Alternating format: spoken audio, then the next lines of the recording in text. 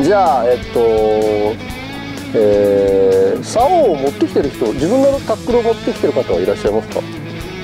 じゃじ自己タックルの人は自己タックルでしましょうか。ね。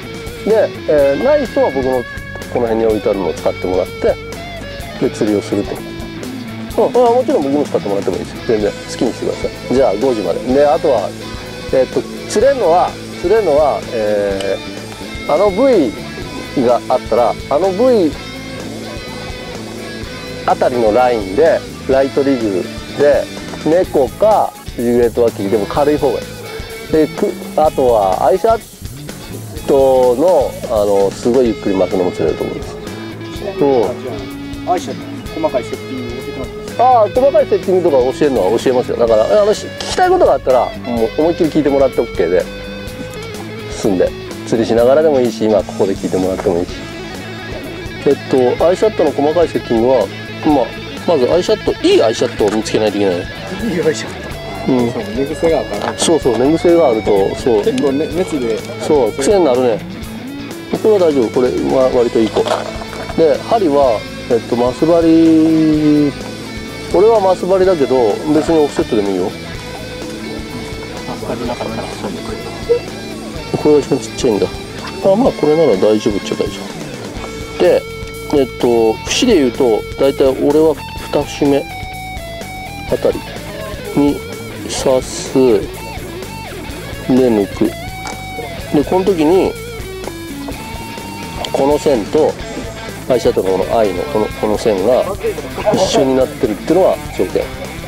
これがこういう風になったりこういう風になってるとえっと要はプラグのプラグの愛と一緒だからひこう少し横に引っ張られてこういう軌道になったりとか。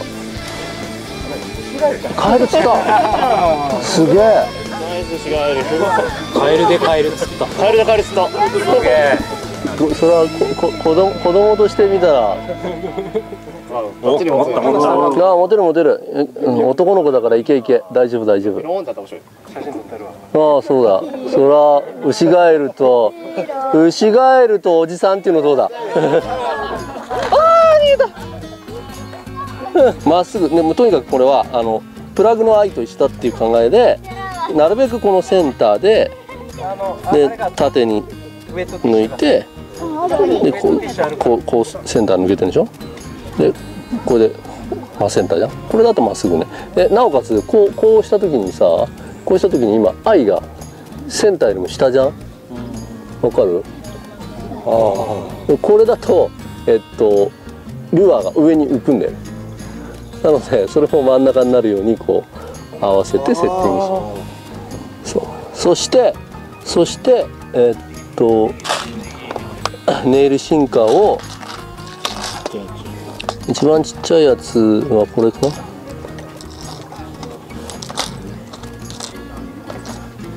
これじゃない？これね？これをえっとアイシャットのこのスリットじゃないけど真ん中にこう線があるじゃん。はい。この線の一番あのあ最初のあたりこのあたりに打つの。縦に。でこの2節目ぐらいをハサミで切る。これは。で1節ぐらいがお腹から出てるぐらい。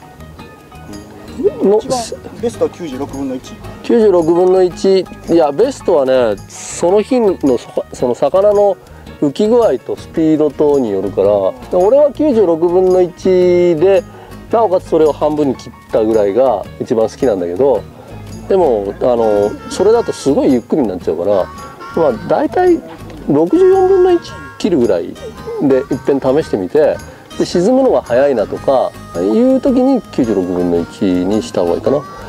であのいわゆるまあそれはサイトの場合なんでサイトのっていうか見えてる魚ちょっとブラインド気味だったらもう全然あの96分の1よりもあの64分の1の方がいいと思う。で誰かサイトマジックつけてる人いなかったっけ？アームで。あこれ。ああそうそうそう。これついてる人これ釣るでしょ。これさっきから口ね。いいいい。使うけど。あ出た。いや口使うけどって口使ったら普通普通それ口使ったらつらんといかんでしょ。ここが加藤さんと俺らの違いまあ。残念なことにすごく残念だね見てないそうでしょ俺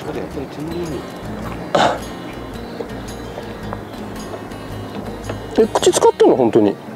パクって。ハウってしたね。嘘。うんこれはダメ。ああ今のはいい今のはいいはずなんだけどな。距離が足んなかったね。あの目の前に抜けすぎたね。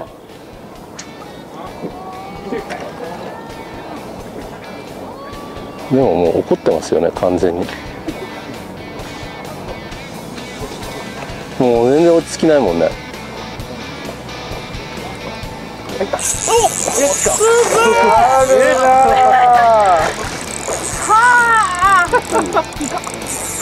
あれ高田に見たんや半今の。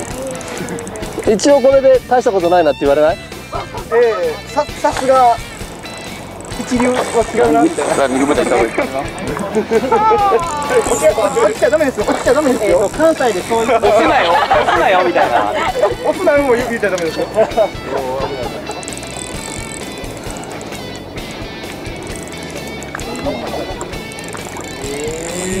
すなよ。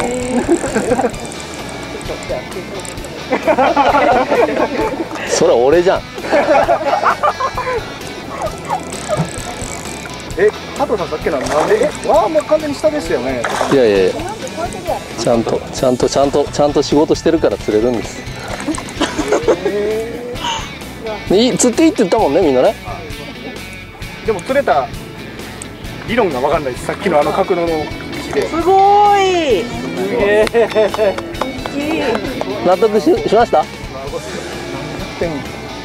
えなぜ？あの角度でなんでこう行くんですかいやいやあの角度っていうかだからないないないないないないない。要はピュッてしてるじゃん、でピュッてしてる時にそのあのピュンのスピードとこの短く動くのがこう抜ける時とこう抜けて反応する時と下でものすごい勢いで動いたものをガッて反応する時と両方あるから。下で見えてないようで見えてて。そうそうそうそうそうそうそう